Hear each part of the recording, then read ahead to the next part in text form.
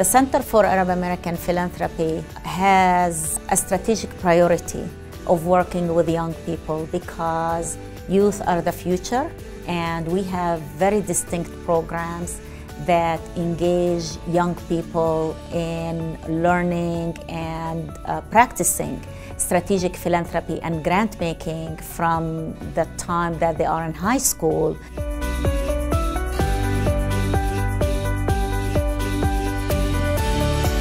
To be honest, I didn't know what the definition of philanthropy was.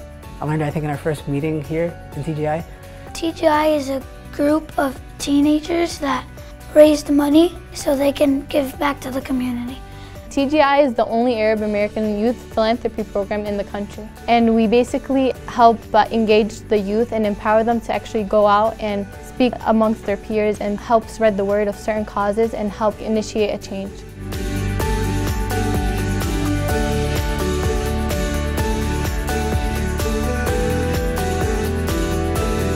First, we have to identify the problem, and we do that through a needs assessment.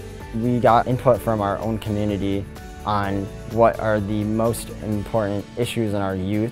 After we identify the problem, we find certain organizations that will actually help us tackle those problems. Our whole uh, mission is to find a way to fight these issues, and grant making is our way to do that. I think that the TGI grant has really helped us have a bridge towards the wider community in San Diego. Superintendents, principals, city managers have been seeing what our kids are doing. They've applied for permits to have fundraisers at parks. They've done TEDx talks speaking about this and spreading the word about their work.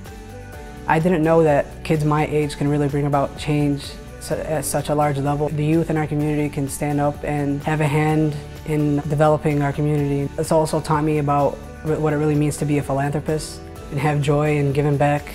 I think that the, these young generations that are doing TGI, that are doing the grant making, I think as they move forward, it's going to just put that culture in them that we should be looking out for our community and we should be doing it together.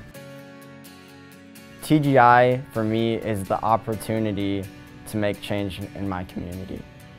I feel like TGI has really given me the power to actually make an impact. I actually have a voice in my community. Our role in TGI is going to get a lot bigger because every year we're trying to do more.